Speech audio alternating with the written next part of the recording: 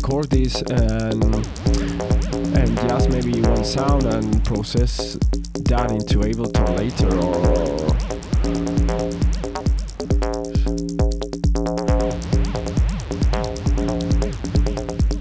but you can do a whole track like this as well.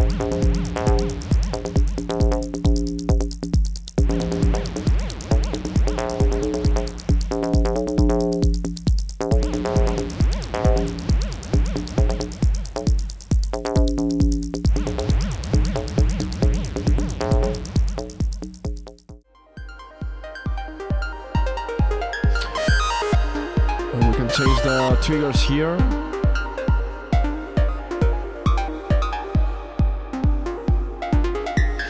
And yeah, uh, we can actually add, let's copy this one, the AD, to add uh, an envelope.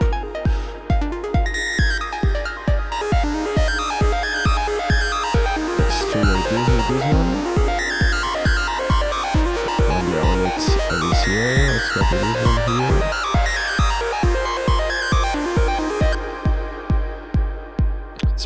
Here. The output into the reverb.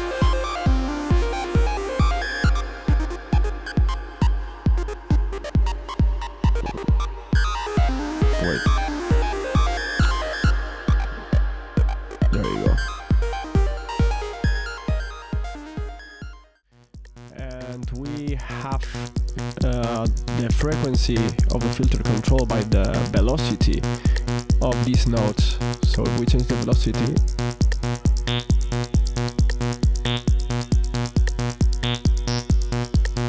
we are changing the quantity of voltages uh, moving the, the cutting frequency of the, of the filter.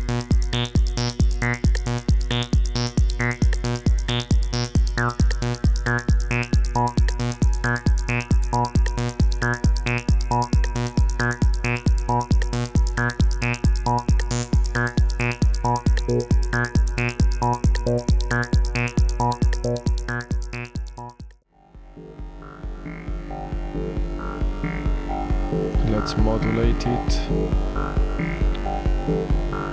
So we are modulating basically the the feedback and the delay time. I think it's very quiet. Wait, it's open. Filter a bit with a bit of white noise.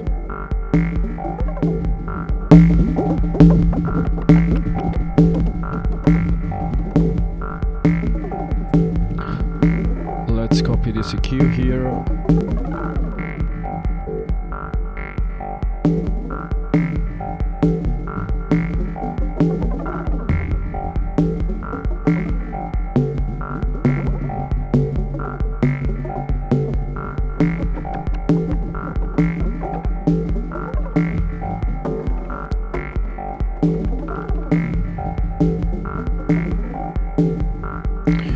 Can modulate everything.